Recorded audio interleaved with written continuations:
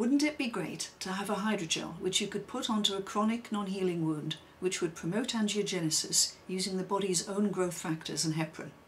Well, that's what we've set out to do in this study, and I'm going to describe how this article gives us the first stages towards this. First, I'm going to explain our thinking and then take you through the article.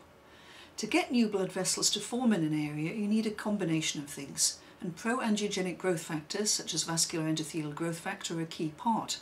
But we also need a better way of delivering these growth factors so that they stay in place until needed, don't break down rapidly, and are released in sufficient concentrations to promote neovascularization.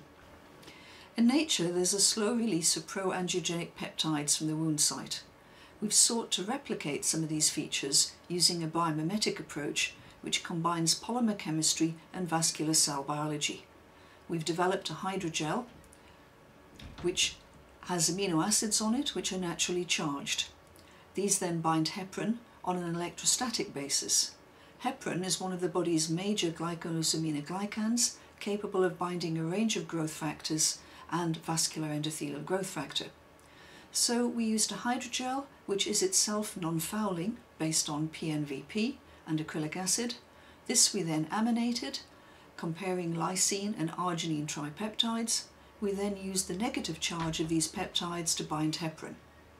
We show that the heparin can then bind vascular endothelial growth factor and that the heparin VEGF loaded hydrogel is capable of releasing vascular endothelial growth factor in sufficient quantities to stimulate the proliferation of small vessel endothelial cells. Figure 1, an acrylic acid derivatized polyvinyl pyrrolidone hydrogel was synthesized and then functionalized with peptides. The hydrogels were reacted with either trilysine or triarginine with NHS and DCC for 24 hours at room temperature. Hydrogels were then washed extensively for a week to remove any non-covalently bound peptides.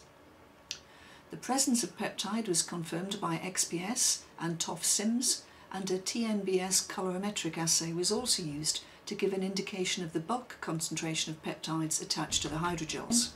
We also demonstrated that the hydrogels and modified hydrogels were basically non-fouling for protein adhesion with the exception of lysozyme, which was bound to the lysine modified hydrogels.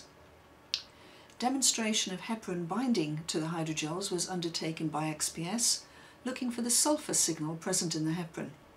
We demonstrated semi-quantitative binding of heparin in these hydrogels using fluorescently labelled heparin, and from this it was clear that the lysine modified hydrogel bound approximately two and a half times as much as the non-modified hydrogel and the arginine modified hydrogel bound approximately four times as much heparin.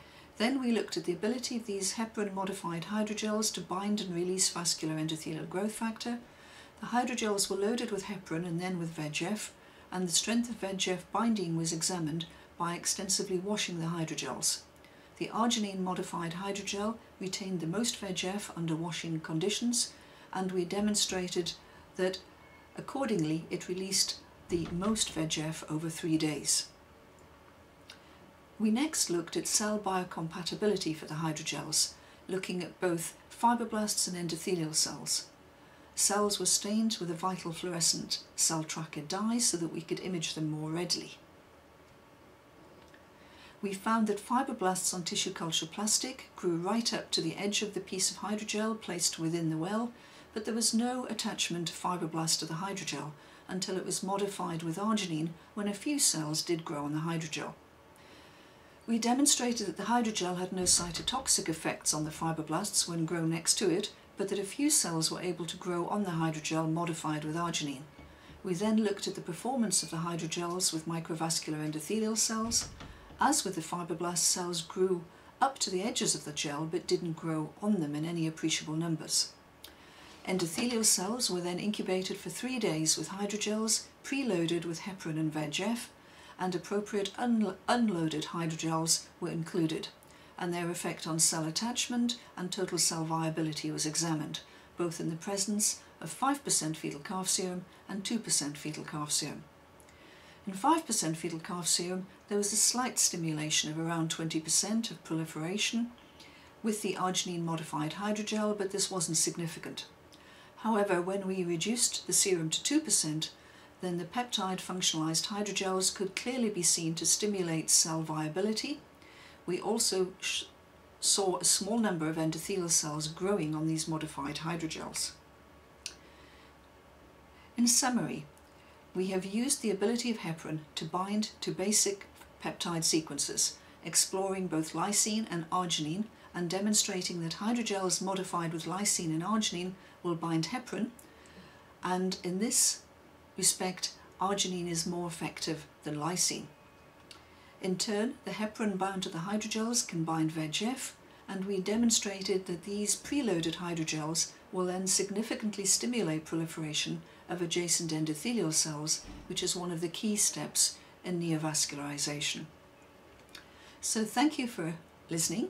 I hope you find the paper interesting and useful for your own research.